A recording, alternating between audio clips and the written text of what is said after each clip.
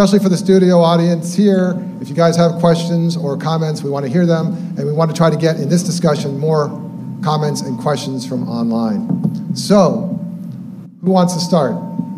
Milo. Of course.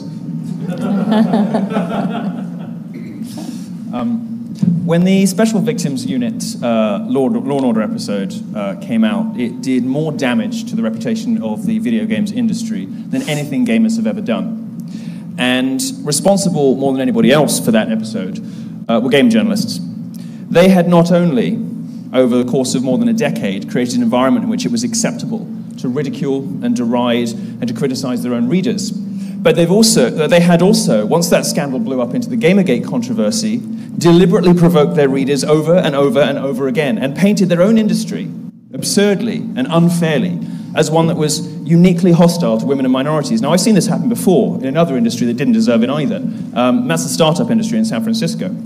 Interestingly, you know, video gaming and startups are probably the two industries where women and minorities are welcomed the most. They're the industries that are disproportionately progressive in terms of politics, right the way up and down the corporate food chain. Um, yet they're the industries that have this weird sort of pearl clutching, hand wringing middle class white guilt about whether or not there are enough women, whether or not there are enough minorities. And this has metastasized into an environment in which it's okay to tweet things like kill all white men. And in Gamergate, in the gaming industry, it became okay to say that being a straight white male was the lowest difficulty setting. Nobody appreciated the irony of criticizing and ridiculing people for their skin color or for their sex. But game journalists got it into their head that the new sort of progressive feminist driven politics was something that they should aspire to, and it led them to all kinds of horrible journalistic failings.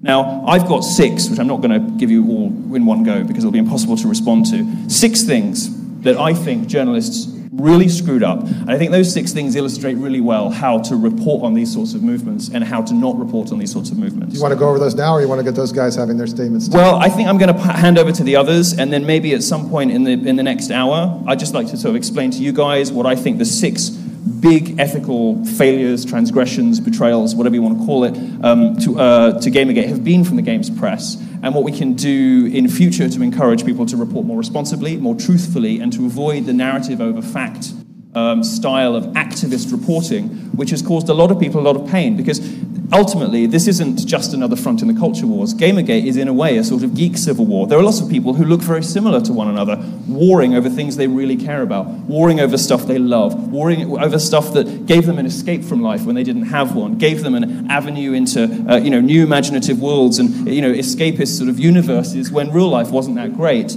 Games journalists have taken that away from them um, because they've, they've toxified and politicized that gaming space.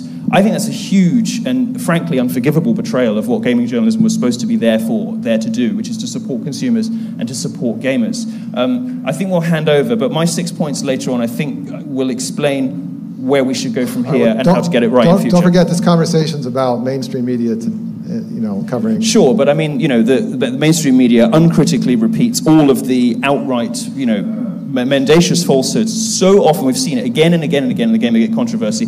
And with some justification, it's perfectly reasonable for them to assume that game journalists are doing their job properly if they don't know any better. They're looking at fellow, the work of fellow professionals and, and seeing, um, you know, this person has been attacked, this person, this, and they, it, it, appears on the page of the New York Times. We heard the New York Times praised this morning. The New York Times has done a, you know, one of the worst jobs of anyone. I'm amazed that nobody said so. The New York Times uncritically reported um, things that they're, you know, with, with very shaky evidence, and then gave a platform to one of the people in question. Um, so I'm going to hand over, but I think, you know, when I explain to you, I really am, when I explain to you the six things I think are, are the really serious failings, I think that they'll, they'll serve as a useful guide for the mainstream media so that you know what to look out for next time. Wow, you did that without breathing.